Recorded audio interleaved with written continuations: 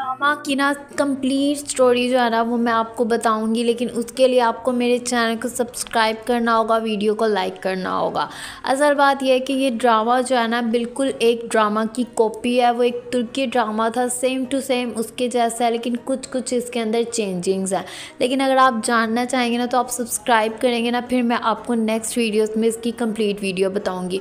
फ़िलहाल आने वाली एपिसोड के बारे में बात करते हैं कि होना कुछ इस तरह से है कि यहाँ पर जो है ना सदफ़ ने फौरी तौर पर बिलाल अब्दुल्ला को ज्वाइन कर लेना है और यहाँ पर बिलाल अब्दुल्ला ने पहले पहले उसको बेानतहा इज़्ज़त देनी है। माँ समझाएगी कि देखो बिलाल अब्दुल्ला की इज़्ज़त जो है ना, वो बहुत ज़्यादा ख़राब है तो अगर तुम इसको ज्वाइन करोगी ना तो तुम ये समझ लो कि बिलाल जो है ना, वो काफ़ी ज़्यादा करेक्टर लेस आदमी है और शराब भी पीता है। लेकिन यहाँ पर भाई की बात पर आ जाएगी हमारी सदफ़ और वो फौरी तौर पर बिलाल अब्दुल्ला को ज्वाइन करेगी। ज़ाहिर सी बात है ना, भाई से भर के तो कोई नहीं ना हो सकता।